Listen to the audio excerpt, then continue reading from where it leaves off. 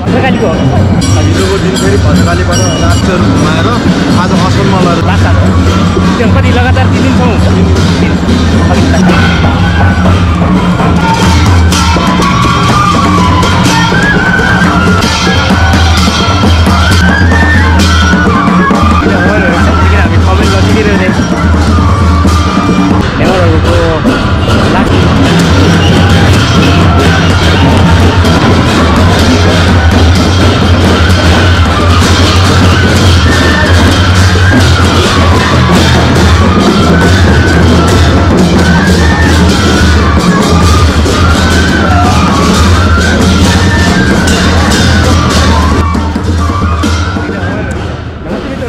छ होला मेरो युट्युब च्यानलमा। आज म काठमाडौँको यो थमेल इन्द्रचोक नजिकै रहेर बसिरहेको छु। नेवारहरूको लाखे नाच आफ्नै किसिमको संस्कृति झल्काउने खालको जात्रा भइरहेको छ यो। यो प्रत्यक्ष रूपमा देख्न सक्छ।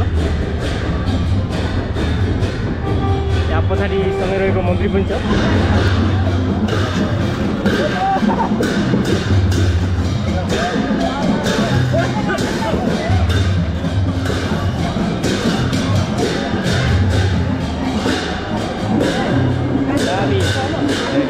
कहाँबाट ल्याएको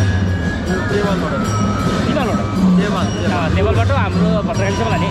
होइन भद्रकालीमा हिजो अस्ति भद्रकालीमा लगेर भद्रकालीबाट फेरि त्यहाँ राखेर हिजोको दिन फेरि भद्रकालीबाट राति घुमाउने भद्रकालीबाट ल्याएर अनि फेरि यताउता घुमाउने हिजो।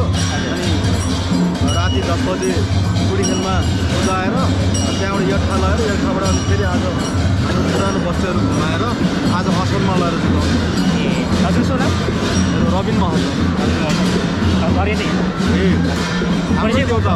ए कहिलेसम्म हुन्छ यो? आज ला। लासा हो? त्यो कति लगातार तिन दिनसम्म हुन्छ? तिन दिन धन्यवाद हुन्छ